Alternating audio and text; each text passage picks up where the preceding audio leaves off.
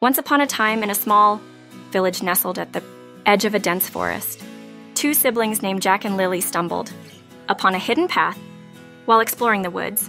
They followed it deeper into the heart of the forest, where they discovered a magical glade unlike any they had seen before. In the center of the glade stood an ancient oak tree, its bark shimmering with silver runes, surrounded by fireflies. There they met Ruffles, the guardian of the forest, a wise old squirrel who invited them to explore the wonders of the magical forest. They met talking animals, discovered ancient spells, whispered by the plants, and learned the legend of the wishing well.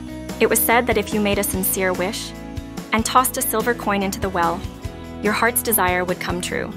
As they spent more time in the magical forest, they learned valuable lessons and discovered that imagination was their greatest treasure.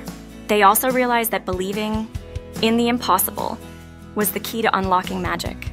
Their adventures in the magical forest continued as they danced with fireflies, befriended elves, and even rode on the back of a friendly dragon. Each day brought new surprises, and their hearts overflowed with wonder.